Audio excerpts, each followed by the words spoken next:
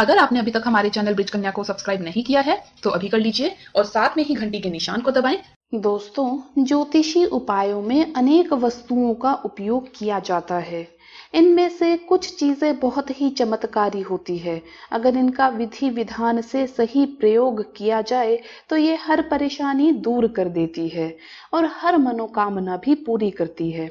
आज हम आपको ज्योतिषीय उपायों में काम आने वाली कुछ ऐसी ही चीज़ें और उनके प्रयोगों के बारे में बताने वाले हैं, जो कि कुछ इस प्रकार है। सबसे पहली वस्तु है गोमती चक्र। कुछ ज्योतिषी प्रयोगों में एक ऐसे पत्थर का उपयोग किया जाता है, जो दिखने में साधारण होता है, लेकिन आश्चर्यजनक तरीके से अपना प्रभाव दिखाता है। उस पत्थर का नाम है गोमती चक्र। गोमती चक्र कम कीमत वाला एक ऐसा पत्थर है जो गोमती नदी से मिलता है। ये है इसके कुछ खास उपाय।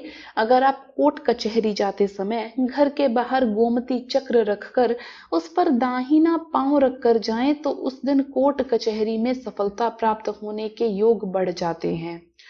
अगर शत्रु बढ़ जाएँ तो जितने अक्षर का शत्रु का नाम है, उतने गोमती चक्र लेकर उस पर शत्रु का नाम लिखकर उन्हें ज़मीन में गाड़ दें तो शत्रु परास्त हो जाएँगे। यानी कि आपको हर शत्रु के लिए ये उपाय अलग अलग करना होगा। मान लीजिए आपके शत्रु का नाम है अमुक। अमुक की जगह आपका जो भी शत्रु का नाम है, आप उसका इस्तेमाल कीजिए। अब अमुक में तीन अक्षर है, अ, मु, और क। अब आपको तीन गोमती चक्र लेने हैं। एक पर आपको अ लिखना है, दूसरे पर आपको मु लिखना है, और तीसरे पर आपको क लिखना है। अब अ, मु, क, ये तीन गोमती चक्र आपको ज़मीन में गाड़ देने हैं। इस तरह से जो भी आपके शत्रु का नाम है, उतने अक्षर आपको गिन लेने हैं और उतने ही गोमती चक्र लेने हैं, और हर गोमती चक्र पर एक एक अक्षर लिखना है। उसके बाद इस गोमती चक्र जितने भी हैं उन्हें ज़मीन में गाड़ देना है। इससे आपके शत्रु आपको परेशान नहीं कर पाएँगे और धीरे धीरे शत्रु आपसे हारने लगेंगे, यानी कि आपको परास्त नहीं कर पाएँगे, खुद आपके पीठ पीछे साजिश करने में असमर्थ हो जाएँगे। अगर पैसों से संबंधित समस्या है तो पाँच गोमती चक्र धन स्थान, यानी ऐसी जगह रखें जहाँ आप पैसे रखते हो, धन की समस्या अपने आप ही समाप्त हो जाएगी। अगली वस्तु है काली हल्दी।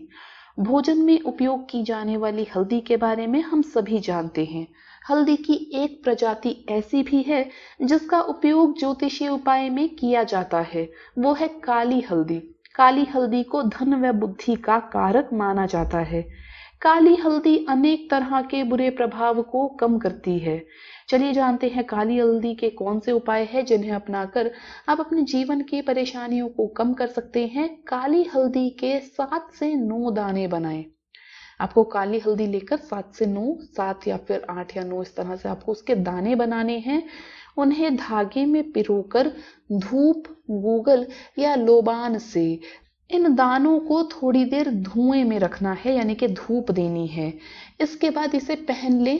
जो भी व्यक्ति इस तरह की माला पहनता है, वो ग्रहों के दुष्प्रभावों, टोने टोटकों व नज़र के प्रभाव से सुरक्षित रहता है। अगर आप किसी भी नए कार्य के लिए जा रहे हैं तो काली हल्दी का टीका लगाकर जाएँ और उस कार्य में आपको सफलता मिलने के इससे योग बनेंगे। दोस्तों, अगली वस्तु है नारियल। लघु नारियल। जी हाँ दोस्तों, नारियल में भी आपको छोटे वाले नारियल लेने हैं। लघु नारियल का आकार सामान्य नारियल से थोड़ा छोटा होता है। लघु नारियल का प्रयोग अनेक उपायों में किया जाता है। लघु नारियल के कुछ साधारण उपाय कुछ इस प्रकार हैं। सबसे पहला उपाय है, आपको 11 लघु नारियल लेने हैं। माँ लक्ष्मी के चरणों में इन्हें रखें और उसके बाद ओम महालक्ष्मी च विदमहे विष्णु पत्निम च धीमहि तनो लक्ष्मी प्रचोदयात। इस मंत्र का जप करना है। मंत्र में एक बार फिर से दोहरा रही हूँ। मंत्र है, ओम महालक्ष्मी च विदमहे, विष्णु पत्निम च धीमहि, तनो लक्ष्मी प्रचोदयात। अगर आपको ये मंत्र लिखित में चाहिए तो आप हमें कमेंट्स में बता सकते हैं। वहाँ हम आपको ये मंत्र लिखित में देंगे।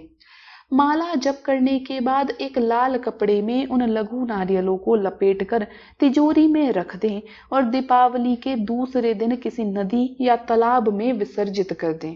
ऐसा करने से धन लाभ के योग बनते हैं। दोस्तों, इस बात का ध्यान रखें कि आपको बताए गए मंत्र का दो माला जप करना है। दो माला जप करने के बाद आपको इसे एक लाल कपड़े में बाँध करके लपेट करके, यानी कि तिजोरी में रखना है। दोस्तों, लघु नारियल का एक और उपाय भी है जो आप आजमा सकते हैं, जो कि कुछ इस प्रकार है। धन, वैभव और समृद्धि पाने के लिए ये उपाय है। आपको पाँच लघु नारियल लेने हैं और उस पर केसर से तिलक करना है। और हर नारियल पर तिलक करते समय 27 बार बताए जाने वाले मंत्र का मन ही मन जप करना है। मंत्र है एम हलिम श्रिम, क्लिम। जी हाँ दोस्तों, ये मंत्र है, एम ह्लिम श्रिम क्लिम। अगर आपको ये मंत्र लिखित में चाहिए तो आप ये भी कमेंट्स में बता सकते हैं। हम आपको ये मंत्र भी लिखित में ज़रूर देंगे। इसका आपको 27 बार हर नारियल पर तिलक करते हुए जब करना है, यानी कि जब आप पहले नारियल पर केसर से तिलक करेंगे तो 27 बार आपको इस मंत्र का एम, हलिम, श्रिम, क्लिम, इस मंत्र का 27 बार जब करना है। उसके बाद जब आप दूसरे नारियल पर जब आप केसर से तिलक करेंगे तो दोबारा आपको 27 बार इस मंत्र का जब करना है। इस तरह से पाँच बार आप जब तिलक करेंगे तो पाँचों बार 27 बार आपको इस मंत्र का जब करना है। तो दोस्तों, धन, वैभव और समृद्धि पाने के लिए लघु नारियल का ये उपाय भी कारगर है। अगला उपाय है, अगर आप चाहते हैं कि आपके घर में कभी धन धान्य की कमी ना रहे और अन्न का भंडार भरा रहे तो 11 लघु नारियल एक पीले कपड़े में बांधकर रसोई घर के पूर्वी कोने में बाँध दें। इससे आपकी मनोकामना पूरी हो सकती है। अगली वस्तु है दक्षिणावर्ती शंख। ज्योतिष शास्त्र में दक्षिणावर्ती शंख का विशेष महत्व है। इस शंख को विधि विधान पूर्वक घर में रखने से कई प्रकार की बाधाएँ शांत हो जाती है और धन की भी कमी कभी नहीं होती। दक्षिणावर्ती शंख के अनेक लाभ हैं, लेकिन इसे घर में रखने से पहले इसका शुद्धिकरण अवश्य करना चाहिए।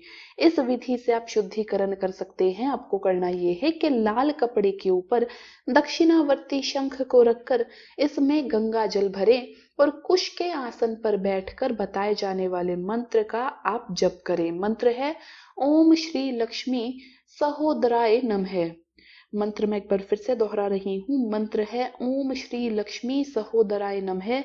इस मंत्र की कम से कम पाँच माला जप करें। ये दक्षिणावर्ती शंख को शुद्ध करने का उपाय है।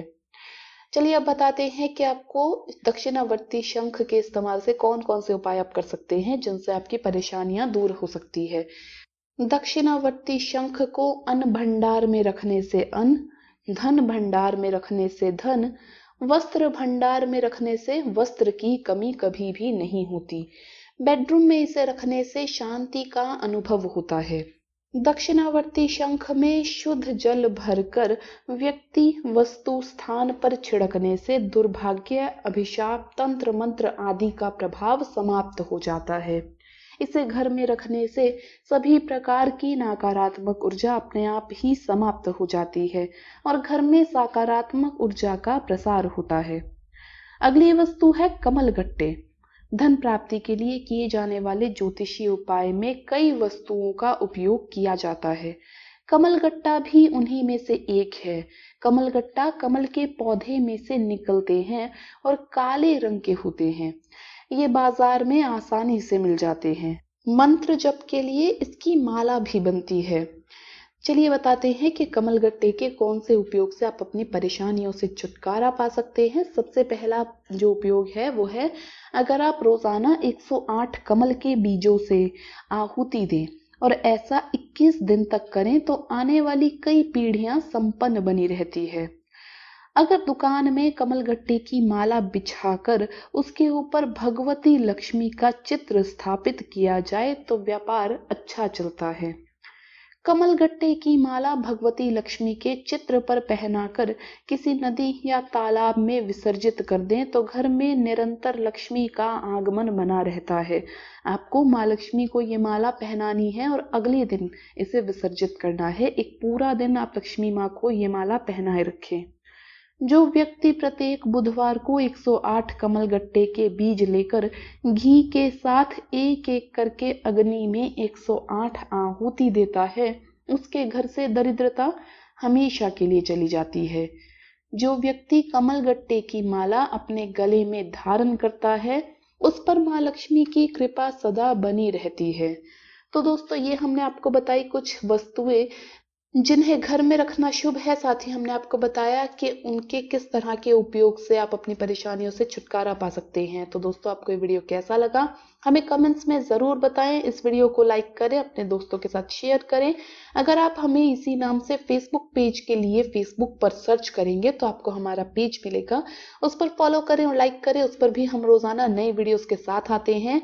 साथ ही यूट्यूब चैनल को सब्सक्राइब करना ना भूलें। धन्यवाद दोस्तों, आपका दिन शुभ रहे। जय माता दी।